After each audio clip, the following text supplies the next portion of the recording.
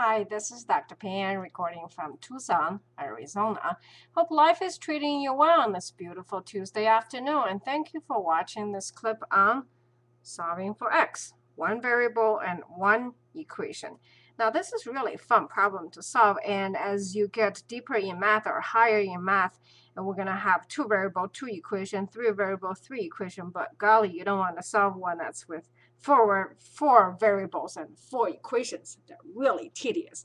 But one variable, one equation is really fun because this is beginning of algebra. That's saying like we're not only doing arithmetic, adding and subtracting, we're going to actually start working with numbers and letters, combine them. Okay, so our end goal is to get x by itself equal to something. So everything we do from here onward is just going to go collect all the variables together and collect all the numbers together. And we're going to get x all by itself. Okay, so first thing I'm going to do is I'm going to open up this bracket by doing this overhead. Okay, so it's 3 times x plus 3 times 1, which is 3. And then on this side is minus 2 times x, it's minus 2x. Minus 2 times minus 1, this becomes a positive 2. Okay, that's our, our first number. Let's put a little star over here. So minus 1 times minus 2, minus minus, kind of like a, I don't know, snake bites need a snake vitamin to cure it. So minus minus become a positive. All right, that's the first thing. And then my plus 6 follows right down here. Now, next thing I'm going to do is really fun. I want to move all the x, anything contains x, to one side. So I'm going to do opposite of what I have over here. Since I have an equal sign here, I got to be fair on both sides. I can't just add one side and without taking care of the other side. So I'm going to add 2x on both sides. This one cancels out. Here's my equal sign, unchanged, and 3 is left over. And here, 3x plus 2x, think of a 3 apples plus 2 apples.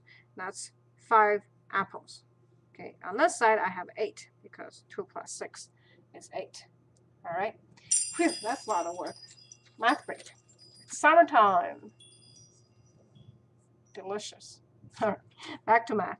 Next thing I'm going to do is I'm going to move all the numbers over. Since I have a 3 here, once again, I got to keep uh, my equal sign.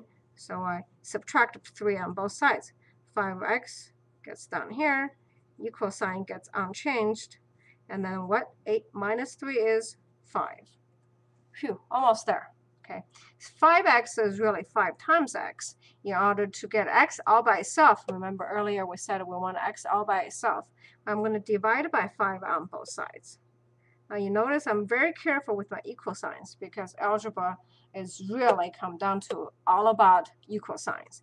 We have a lot of rules to follow, but it's all trying to keep our equal sign unchanged. All right, so x equal to 1. Now, a lot of students at this time would say, all right, I'm done, x equal to 1, and rush down to the next one. As you study algebra from the very beginning, I always tell my students, you know what, not so fast. Get into this habit of checking your work. This is really invaluable because as your math gets more and more difficult, what's going to save you from bad grades for one thing, is that you plug this back in there and check your work. Okay, so algebra, that's one good thing about algebra. You can always double check your work.